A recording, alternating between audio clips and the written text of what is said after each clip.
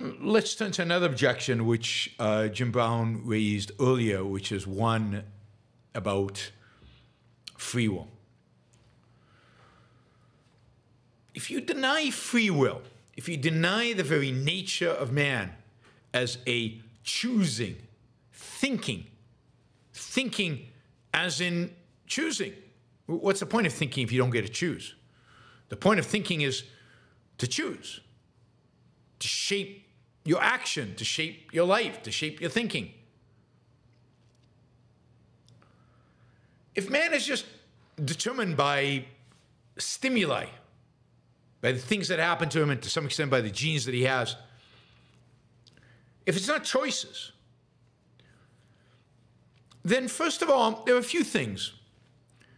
All the advancements that we've had, and, and, and the left, the, the environmentalists very much think this. All the technology we have, all the innovation, all the success, all the wealth that has been created was going to be created anyway.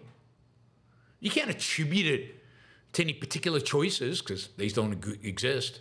You can't uh, associate it with any particular ideology because it doesn't matter. Free will doesn't exist. The world as it is had to be as it is. It was determined from day one. It's just the way the atoms clashed. And suddenly, you can't give them all credit and therefore view them as deserving uh, those people who made a lot of money because of the world is the way it is, or made a lot of money making the world the way it is. They had no choice. It's just the way it is. What makes them worthy if they have no will? If they're not choosing to do what they do? I mean, this is directly reflected in Obama's famous speech you didn't build it. You didn't build it.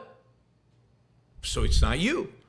So you don't fully deserve it, or maybe at all deserve it. And if you don't deserve it and it's going to be here anyway, whether there's a Steve Jobs or not, we'd get an iPhone. And if we're going to get an iPhone anyway, then why should we admire Steve Jobs and why should we pay him a lot of money? The money's not going to incentivize him. He's just determined to do what he's going to determine to do. I mean, the whole thing is uh, the whole thing is um, um, self-contradictory. But any argument about self uh, about uh, free will is self-contradictory. You can't even make it without, in a sense, applying the ideas of a, a, a reasoning mind that chooses chooses to think that there's no choice. What?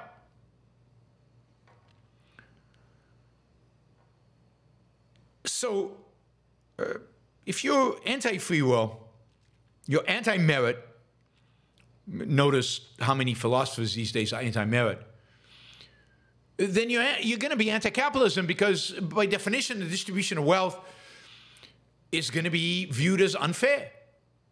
Unfair because nobody deserves what they have. And egalitarianism becomes very attractive. Nobody deserves what they have, so everybody should get the same because everybody's equally undeserving.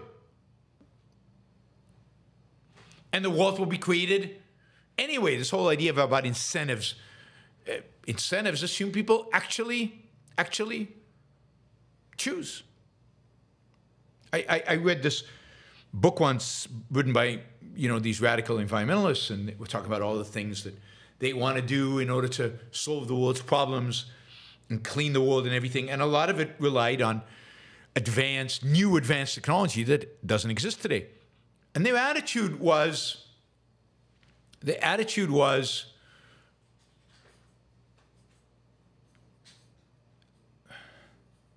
well, the technologies will just come into existence. We need them. Need, this is again a primacy of consciousness, need is a force in nature. Need as a force in nature brings about the reality of innovation, technology, new things that we need. That's enough. You don't need entrepreneurs, a mind, incentives, freedom. No, it just happens. It just happens. And, and for most people, it appears that way. I got an iPhone. Wow, there's an iPhone now. I have an iPhone. There's no conception of who made it? I- didn't have an iPhone before. How did it come into being? Who built it? Who imagined it? Uh, uh, how many years did it take them? What kind of capital did they need to raise? Did anybody take any risk? It looks like it's a huge success. Nobody risked anything. But of course, it wasn't guaranteed to be a success. And on and on. They, they can't conceive the whole chain of events that is creating, building entrepreneurship. It just, again, happens. It happens to them, and they benefit from it. Cool. But they don't give credit to anybody for it because it's just like nature gave. It's just like God dropped manna from heaven.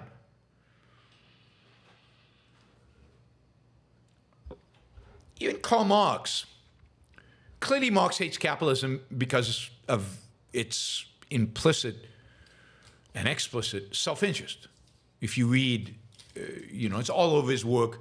But, uh, you know, my favorite Marx essay is the on the Jewish question, where all this anti Semitism comes through and where he hates the Jews for being selfish and capitalist. He gets the connection. He gets the selfishness and capitalism are the same, uh, uh, uh, integrated somehow or interwound somehow. And he hates them both. He hates capitalism because it's selfish, and he hates the Jews because he believes they are the source of selfishness.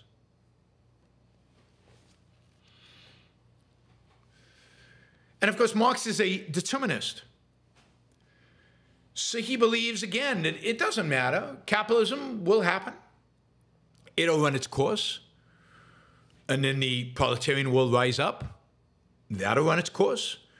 And then ultimately, without explaining exactly how, or you get a utopia of the proletarian, and that'll run its course. But it all is determined. That is the end state, I guess. But that's a determined end state that has to go there. And in that sense, it's easy for him to reject uh, reject desert, reject individual values. Note that if you're deterministic, if you take your determinism seriously, I, don't think everybody takes the determinism seriously. I don't think Sam Harris and some of these others take it seriously. They, they claim to be determinists, but then they act like they're not. But if you take your determinism seriously, then you have no personal values. What does it even mean to value something? It's not like you care, but what is you? What is I? Is there an I? If you're a truly determinist, there's no I. I mean, even for Sam Harris, he says, at the end of the day, there's no I, there's just the collective consciousness, whatever the hell that is. There's no I. And if there's no I, there are no personal values.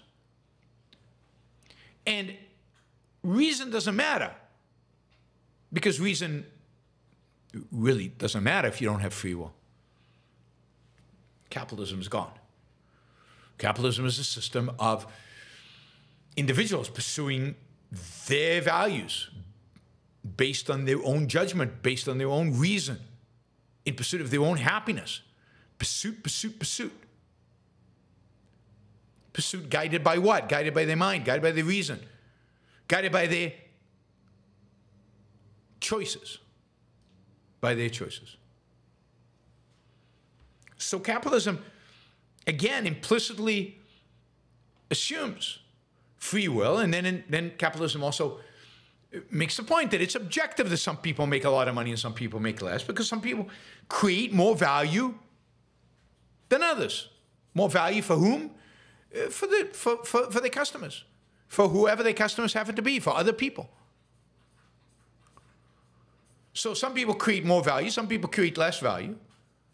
And therefore some people deserve, because they activated their own reason, their own choices to create that value, and some people don't because they didn't.